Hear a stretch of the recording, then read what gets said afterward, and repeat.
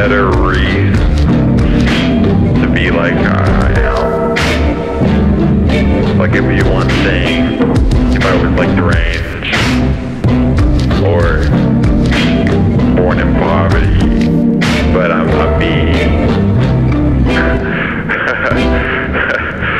Which is worse.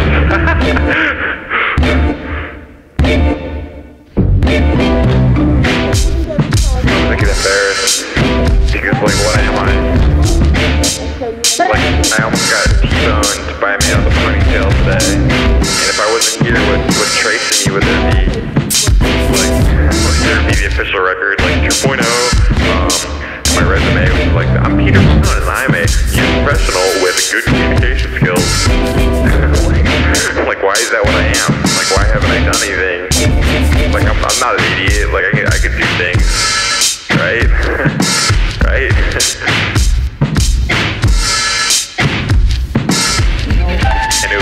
disappointing if I didn't believe in myself. But like I do.